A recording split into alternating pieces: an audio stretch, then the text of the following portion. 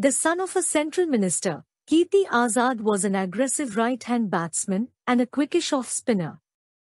A surprise choice for the tour of Australia and New Zealand in 1980 to 1981, he made his test debut at Wellington. He then played three tests without much success against England in 1981 to 1982 and was then ignored till he was picked for the World Cup in 1983.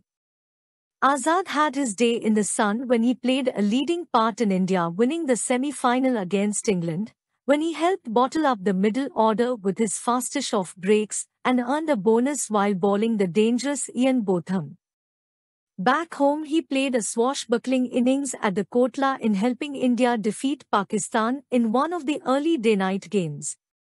But he met with little success in three tests against Pakistan and West Indies and was discarded.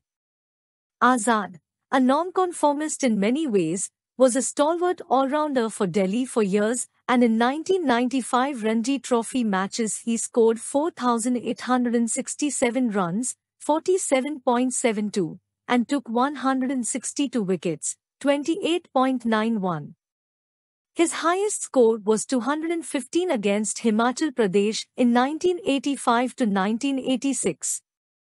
He followed his father into politics and was elected to parliament on a BJP ticket.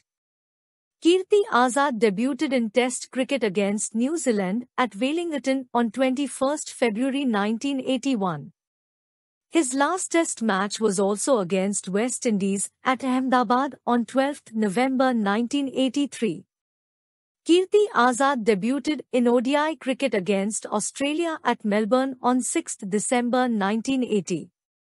His last ODI match was against Pakistan at Sharjah on 18 April 1986. Kirti Azad played seven test matches, 12 innings, and scored 135 runs with a poor batting average of 11.25. As a fielder he took three catches. He took only three wickets in Test cricket. His best bowling of 2 for 84 against West Indies at Delhi doesn't help much as the test ended in a dull draw. Kirti Azad played 25 ODI matches, 21 innings, and scored 269 runs in his entire ODI career with a poor batting average of 14.15. His ODI strike rate is 67.25. His highest ODI score of quickfire 39 not out against Australia at Ahmedabad in 1984 goes in vain as India lost that ODI by 7 wickets. As a fielder, he took 7 catches. He also took 7 wickets with a bowling average of 39.00. His best bowling of 2 for 48 against Australia at New Delhi in 1984 doesn't help much as India lost that ODI by 48 runs. Kirti Azad had a fantastic first-class record. He played 142 matches, 182 innings, and scored 6,634 runs with a good batting average of 39.48. His highest score in first-class cricket is 215. He has 20 centuries in his kitty. He also took 234 wickets in first-class cricket.